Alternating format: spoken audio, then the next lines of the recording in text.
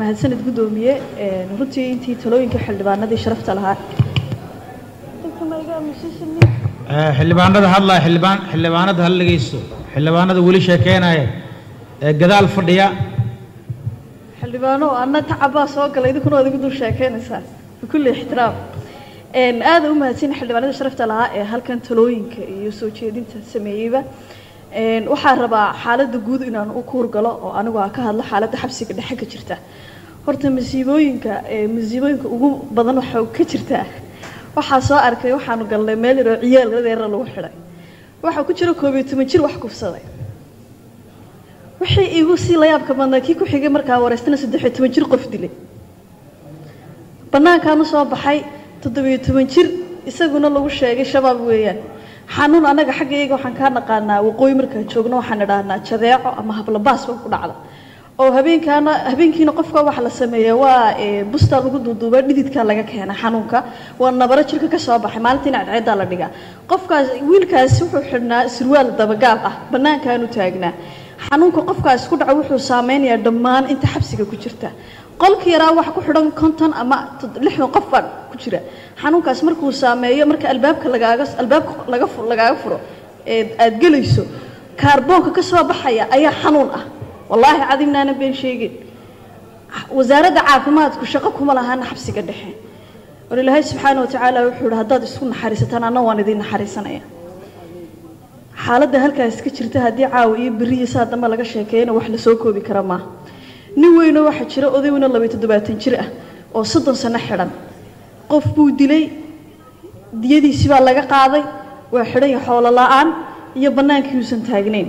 Ilaahay waa qafuuro raxiim dembi markaad iga gashaan buri toobadda keeno soo noqda. Dembiye waynu galnaa. Adduunka markaynu marayno aynu joogno dalalka aynu jaarka nahay xataa ninka waalan ee sakhraankii kuguma xadgudbi karo markaad ag socoto. Innaguna waxaynu ku xadgudbaynaa. Qof baa waxaa lagu xadgudbayaa isagoo muwaadina oo jooga deegaankiisa dadkiisii dhex jooga ayaa lagu gafaya waxyaabihii kale ee igu layaabka badnaa waxaa ka mid ah horta waxaa la yidhi waxbaa la siyaasadeynaya. Aniga horta marka koowaad qof anigu aan matalayo oo xabsigaasi shaksiya gaar oo gubsan ahaan igumuusan jirin. Laakiin kitaab baa aan kitaab baan maray. Waa markii ugu horreysa kitaaban gacanta saaro maalintii la idhaariyey qowlka eebnu waa wax weyn.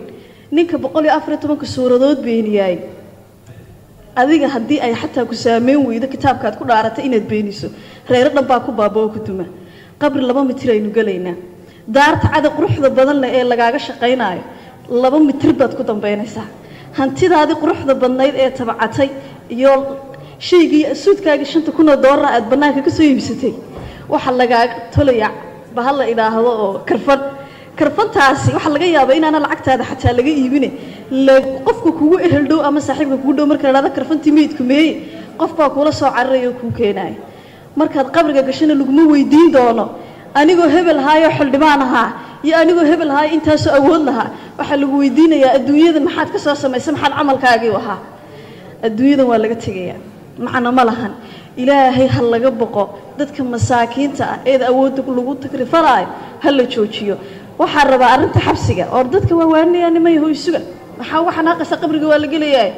Waxaa rabaa arrinta xabsiga markaa ku sii socdo gabadh xildhibaanaa jirta. Gabadha xildhibaanka kolley aniga gaar aqoon gaari nagama dhexayso laakiin waa xag institutionkana ka mid ahayd aan joogay wasiir bay soo martay. Gabadhaasi waa eedeyn ciday doontaa ama dembi ha geysata ama yaana geysana waa xidhan tahay. Ahaan jirta gabadha marka la arko birmageeda rag geeribu ka xigi jiray. Gabadhina ilinteeda aynu aragno. Gabadha iska xidhan waxay doontabaa ku xidhnaatay ee loo soo fadhiisanin. Waa ayaan daro in ay iskaga xidhnaato macno daro gabadhaas haddii ay dembigaa geysatay anu kale wiilka dembiga oo ku haystay u xidhan tahayna waan arkay. Iyadana waan dhegaystay laakiin maxkamad ma yihi. Waxaan se soo jeedinayaa xildhibaanada sharaftalo gabadhaas marka hore inay bannaanka timaado damaanadna ay ku timaado gabadhaasi dhiikar baa ku dhacay macaan baa ku dhacay xaaladeeda caafimaad riski bay ku jirtaa. Kaadada waxaa laga dhex qaadaa qolkeyga yara afartan mitir ee madowga ah war ha laysku naxariisto. Ilaahayna waa inoo naxariisanaya. Gabadhaas wixii ku soo baxa waxaan diyaarunahay boqol doolar baa macna dare nagala jartaa caafimaadna lagama siiyo. Waxba nagalama siiyo. Gabadhaa ha lagu soo daayo. Ninkii ajar rabo turkiba waa inagii u jarayna lacagteena e ilaahay dirti gabadhaa hay'adda soo martay. Ha lagu naxariistaa qabaa. Gabagabadeeda xeer ilaalinta iyo maxkamadda iyo wasaaradda cadaaladda maasada xildhibaane. Waqti waa raalli ah oo guddoomiye arrintan aniga si gaar ay khusaysaa maadaama aan ka soo shaqeeyey. Gebagabaan ku hadlaya guddoomiye ii dulqaado. Waxaan rabaa cid kastoo arrintan ay khusayso in loo yeedho lagana xisaabtamo. Annaga shakhsi gaar ah uma lihin laakiin wixii bannaanka yaalla inaanu keenno oo dadka shacabka ah aanu tusno inaan loo maqan yaho oo loo joogo oo kursigii laga soo qaatay in lagu shaqeeyo inaan u joogno aanu rabnaa iyadoon qaraar laga gaarina lama kala kacayo qaraar ha laga gaaro ha laga soo saaro ha loola xisaabtamo